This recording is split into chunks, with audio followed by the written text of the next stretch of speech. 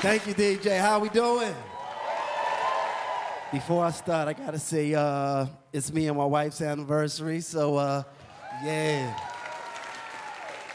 Yeah, it's been uh, seven years. We uh, been separated, you know what I mean?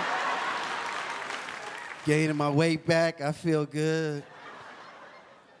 I would get married again if they changed the marriage rules to like a nine to five job. Could you imagine that?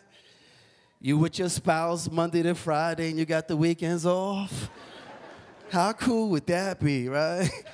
You're like, I see you on Monday, baby. Oops, it's a holiday, Tuesday.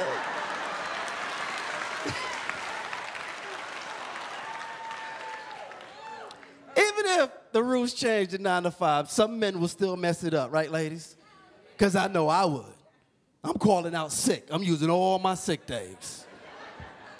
hey, babe, I'm not feel. Stop. I'm not feeling good. Uh, yeah, I'm gonna go to the doctor. but some women to cut that short, won't you, ladies? You call out too much, you get this. No, that's all right. You stay out. I hired someone else, and the kids love him.